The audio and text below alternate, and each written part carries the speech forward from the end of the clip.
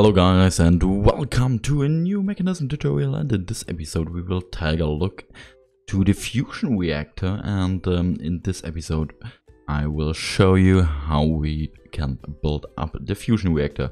For that we need one laser focus matrix, one fusion reactor controller, two fusion reactor ports, nine reactor glass and round about 64 fusion reactor frames.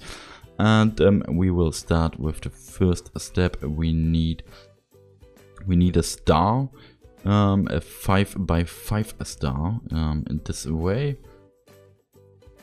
And um, this is the first step. And the second is um, we need um, this one, this one, and this. And we need to build up like this, this, this, and this. Oh, ah, no, not finally not ready. Okay. So, the third step is um, we need a full, um, fully wound up uh, and we need it like this way.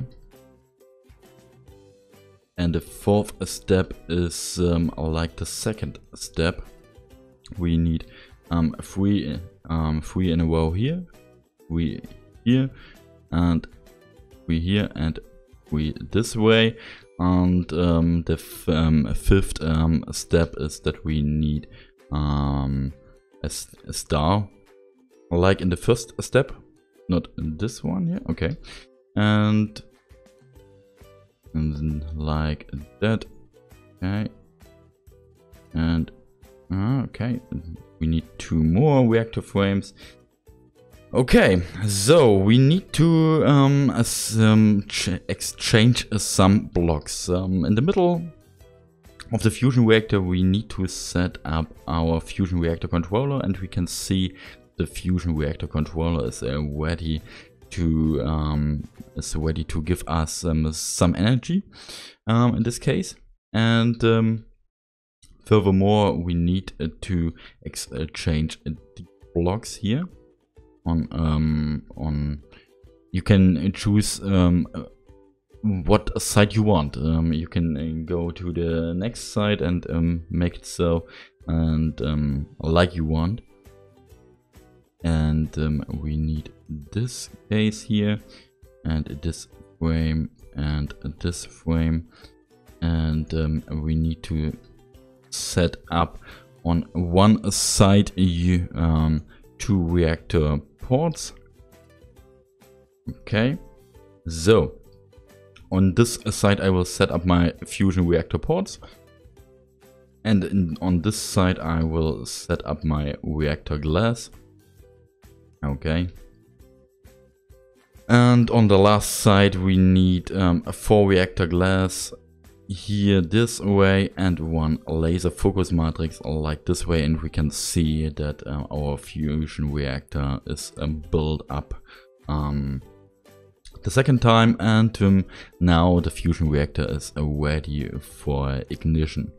And um, the ignition you will see in another video um, so that um, yeah, I hope you can um, have learned something about this um, fusion reactor and um, take a look at the next video. Thanks and bye. So, unser Laser Amplifier hat jetzt mittlerweile genügend Strom. Wir treffen nochmal eine kleine Vorbereitung. Nämlich werden wir nochmal einen weiteren Reaktor-Port einsetzen und werden das Ganze einmal entsprechend mit einer ja, mit einer Energie-Output sozusagen verstehen, ähm, versehen und ähm, somit ähm, wird unsere Energie hier dann in dem, in dem Ultimate Energy Cube gelagert. Ich würde sagen, ich äh, drücke hier einfach mal auf Go, unseren Laser Amplifier und wir sehen, ähm, dass unser Laser hier noch aktiv ist. Wenn ich hier reinkomme, dann äh, tut es auf jeden Fall weh. Ist erstmal okay. Den Laser können wir dann an der Stelle wieder ausschalten. Und wir sehen, dass ähm, sich hier drin auf jeden Fall was bewegt. So soll es auf jeden Fall sein. Wir gucken hier nochmal hinein. Das heißt, wir haben jetzt entsprechend das Plas Plasma, was, ähm, was erhitzt ist. Ähm, wir sehen die, ähm, ja, wie soll man sagen, wie heiß das Plasma ist.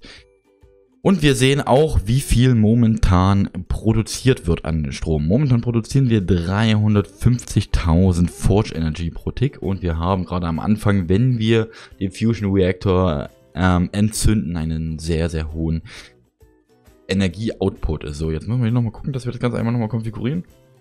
Mit einem Output. Und wir sehen, unser Ultimate Energy G-Cube wurde instant gefüllt. Also das heißt, da ist auf jeden Fall eine sehr, sehr hohe Menge an, an Energie auf jeden Fall mit dabei und mit drin.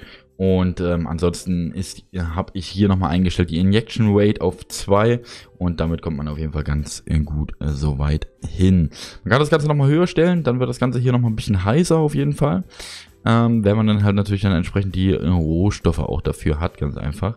Ähm, also beziehungsweise desto heißer das Plasma ist, desto mehr Strom wird natürlich verbraucht. Allerdings ähm, gibt es da dann halt natürlich auch gewisse Kurven, wo dann halt, sagen wir es mal so, wir pumpen mehr Sachen rein. Also wir pumpen hier 2 Millibuckets ähm, Deuteritum rein und 2 äh, Millibuckets ähm, Tritium.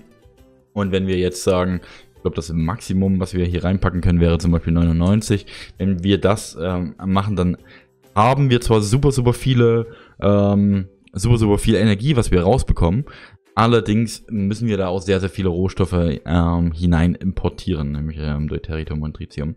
Aber das gucken wir uns in einer anderen Folge entsprechend nochmal an.